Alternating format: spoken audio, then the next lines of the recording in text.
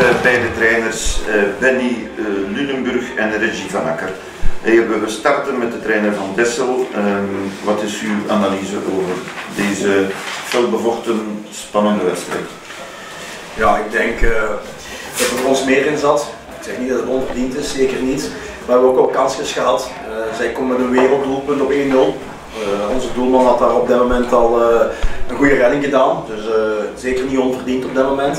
En dan komen wij terug in de wedstrijd. En ik vind ook dat we de tweede helft opnieuw wat kansen afdwongen. Alleen we komen te snel op, uh, op achterstand. Uh, dan wordt het nog 3-1. Ja, wij zitten al weken een beetje op ons standvlees. Hè. We hebben een heel smalle kern. Jongens moeten elke week uh, 200% zijn op de top van de tenen spelen. Als je dan ziet wat andere ploegen, van onze concurrenten aan, aan kwaliteit op, op de bank hebben zitten en nog kunnen inbrengen. Terwijl wij met, uh, met jongeren werken, ja, dan moet ik toch chapeau zeggen naar mijn jongens toe. Uh, ook die jongens die dan invallen, uh, leveren, leveren strijd. Uh, kantelmomentje is denk ik de, de strafschop nog. Hè. Als dan tegen 10 man komen en die penalty gaat binnen, dan krijgen we nog een, een heel andere wedstrijd. Nu ja, oké, dit is de derde week op rij dat we tegen, tegenslag hebben.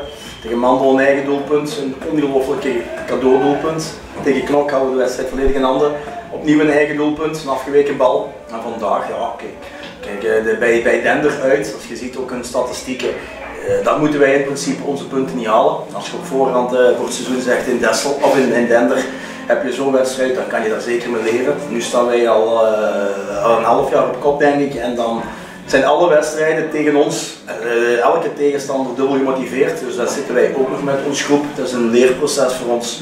Dus ik ben er wel heel fier op dat ze dit opnieuw gebracht hebben. Maar uh, ja, het is jammer, we willen ook die eerste plaats zo lang mogelijk vasthouden. Wij weten die eindronde, voor ons is dat uh, een heel zware drie of zes wedstrijden, zeg maar, waar we op, ook weer op die tip van stenen. En daar kan wij in principe altijd tekort komen tegen die profclubs. Maar ik wil wel zo lang mogelijk de strijd houden voor die eerste plaats. Dat zou een heel mooie bekroning zijn voor het seizoen van ons. En dat is nu jammer dat uh, Luik op het moment even over ons heen gaat. En we gaan proberen nog 6 op 6 te pakken. Hoe moeilijk dat, dat ook is voor de jongens. En dan zien we wel uh, hoe het verder loopt. Maar ik denk ook wel dat uh, de overwinning al bij al zeker ook verdiend is voor, uh, voor Denver. Ik weet niet of er nog vragen uit de zaal zijn. Dan dank ik de bezoekende trainer. En ja, ik zit hier ook een beetje als supporter. En ik mag stellen dat ik als supporter zeer fier ben op de prestatie eh, die Dender geleverd heeft. Je hebt duidelijk, duidelijk je scoutingswerk uh, goed uh, afgeleverd, want de ploeg, andere ploeg goed vastgezet, met flankspel ontwricht. En ik denk dat vooral de eerste helft gewoon de doelpunten ontbraken, de kansen waren er genoeg. Toch geen analyse meer geven.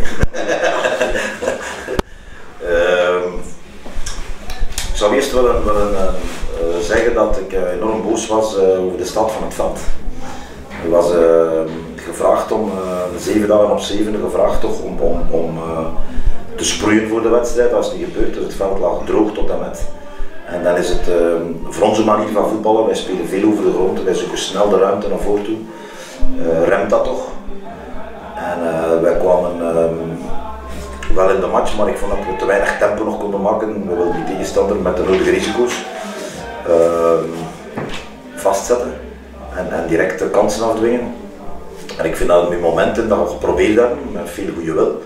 Maar ik zeg het nogmaals, ze konden geen tempo maken. En uiteindelijk is er dan toch de tweede helft uh, wel gedaan wat er moest gedaan worden. En dan zie je dat uh, op, een, op een veld dat, dat iets makkelijker is om te spelen, voor ons toch, omdat ik zeg het nogmaals, omdat wij veel over de grond spelen, dan zie je toch dat, uh, dat er meer snelheid komt, dat het sneller gebeurt. Maar uh, ik moet zeggen, uh, ik weet niet of dat mag zijn, maar ik vond de leiding zeker niet op het niveau van de wedstrijd en van de, van de twee ploegen. De twee ploegen hebben geprobeerd om er een wedstrijd van te maken. Maar als je ziet wat, uh, wat voor kemels er allemaal geschoten zijn, dan, dan vraag ik me af waar zijn we niet bezig. Wij kunnen direct altijd de beelden zien. En dan hebben ze nog de arrogantie om te zeggen, je ziet niet goed. Ja, ik, ik, wil, ik ook uit om op de beelden te kijken. Hè. Eh, dan val je nog met 10 man. In een fase dat, uh, ja, ik zou niet weten, oké, okay, als je dan toch penalty blaast, dan moet je geen geven, maar zeker geen rood. dubbel gestraft. Ja, dat, is, uh, dat zou ook wel, uh, wel iets zijn in het reglement. Maar ik denk langs de andere kant uh, feliciteer ik de tegenstander die toch al een, een heel seizoen bijna aan de leiding staat. en ik ken, ik ken de ploeg redelijk, ik ken de club goed. Ik ken Benny redelijk al heel wat jaren. Je hebt er getraind. Dus ik vind dat een enorme verdienste. Maar ik denk als je vandaag de wedstrijd bekijkt dat er maar één verdiende winnaar is en dat wij dat zijn. Ja, dat denk ik ook. Um, je hebt vooral, zei daar straks ook, de flanken goed gebruikt. En ik denk dat Sam Valken en Van Oudenhoven een, een, een cruciale, en Berkie, een cruciale rol gespeeld hebben vandaag. Ja, ik denk dat, dat mensen die erachter gespeeld hebben. Ik heb ook een grote Hens gezien. Ik heb een, eindelijk een Goedrij gezien zoals ik haar wil zien. Uh, het, maar altijd vooruitspelend. Wat in het verleden soms, soms iets te weinig was. Ik vind dat hij van wel een echt een grote match gespeeld. Vind alleen achteraan dat wij niet goed uh, op de lange bal gereageerd hebben. Nochtans waren had nog tijdens de wedstrijd uh, let op voor de lopende man, de 21 jaar, Sergioli. Dan moet je niet doordekken op die, op die grote jongen die voorin speelt, want dan dat verlies je toch altijd. En dan geef je nog meer ruimte weg om, om die lopende man, wat ook gebeurd is. Dat vond ik wel een, een, een, eh, een fout die, die in onze ervaren ploeg niet zou mogen gebeuren. Maar oké, we kunnen het toch rechtzetten. En ik denk dat we ook zelfs met die mensen op een zeker moment uh, goed de bal hebben kunnen rondspelen en kunnen toelaten dat wij toch wel bij de beter voetballende ploegen zijn van de reeks. Absoluut, bij de beter voetballende ploegen van de reeks. En misschien ook vandaag medeleider als we de drie punten uit Luik krijgen. Uh, ik wil me er niet over uitspreken, maar als we die drie punten krijgen, denk ik dat we wel weer op de reeks Voor de match ik zeggen. Ja, ja, natuurlijk.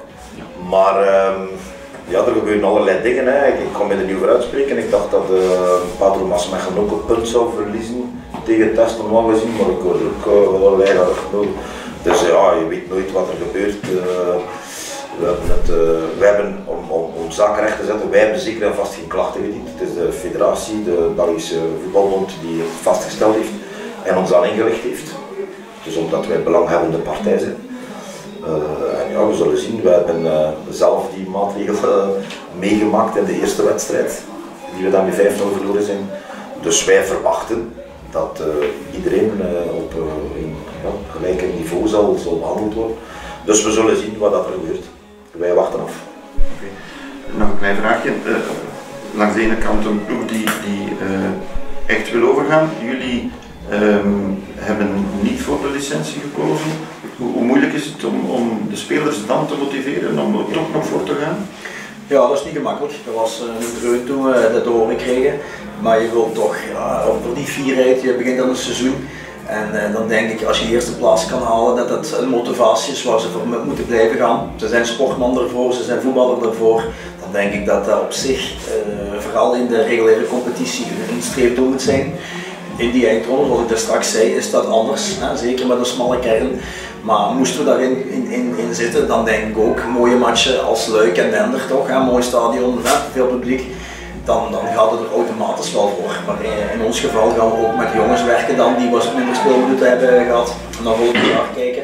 Maar nogmaals, we zijn daar zelfs nog niet eens zeker van. Hè. Je ziet de laatste weken, de acht, negen wedstrijden hebben we maar één keer gewonnen. Veel gelijk gespeeld, we moeten heel hard vechten daarvoor we proberen ze toch nog altijd strijdbaar te maken. Uh, komt er nog eens bij dat wij bij ons heel, drie heel belangrijke pionnen missen. Uh, onze topschutter Burgermans is al van Charleroi uit en misschien voor de rest van de competitie. Hetzelfde al met Jasper Soos op het middenveld. Jens Verbeek achteraan, die was dan vorige week een weekje terug, maar die is dan ook weer geschorst. Dus daar hebben wij, dat zijn cruciale spelers voor ons, die hebben wij niet echt dubbel bezet, die posities. En dan is dat inderdaad, ja, je, je speelt uh, de, de play-off en je weet dat je niet mag promoveren. Ja, heel veel supporters en zo zeggen ook, ja, sindsdien hebben we, hebben we maar één keer gewonnen. Ja, ergens speelt dat mee in, in de mindset van die spelers. Maar goed, we proberen er toch elke week nog alles uit te halen en dan denk ik dat we ons eigen niks kunnen verweten. Goed, dan denk ik dat we kunnen besluiten dat vooral de toeschouwer vandaag de grote winnaar is.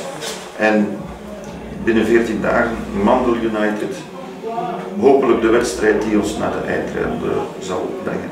Dank u wel beide trainers voor dit gesprek. Dank u.